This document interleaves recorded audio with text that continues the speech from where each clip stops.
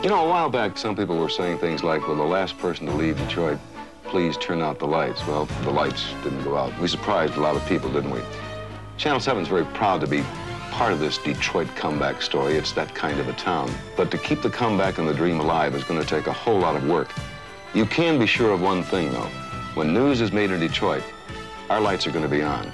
Channel 7 stands up for Detroit.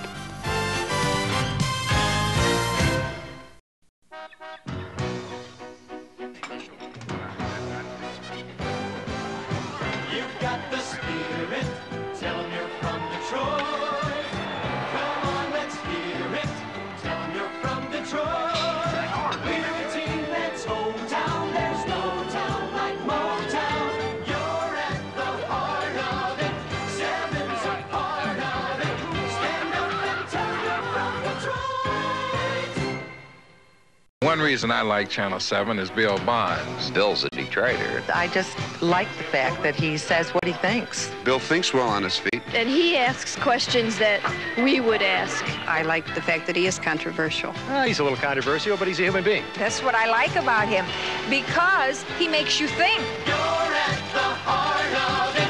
Seven's a part of it. He's a hometown boy. My favorite person is Bill Bonds. The scoop, the lead, the big story. Reporters always looking for it. But the big story is not always the best story. It's seeing an old pal you haven't seen since the World Series. It's your kid winning the Little League Championship. It's Girl Scouts selling cookies. It's the five pounds you lost forever. Really, it's people. Let me tell you, if reporters lose touch with people, they miss some of the best news in town. Bill Bonds, Channel 7 Action News. The best is still made in Detroit.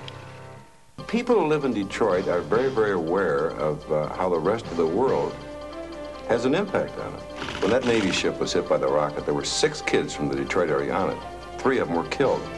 That brings the Persian Gulf as close as the Boblo docks. Detroit and Detroiters have a tremendous appetite for information because it affects the way they live. The world's Detroit. Detroit's the world.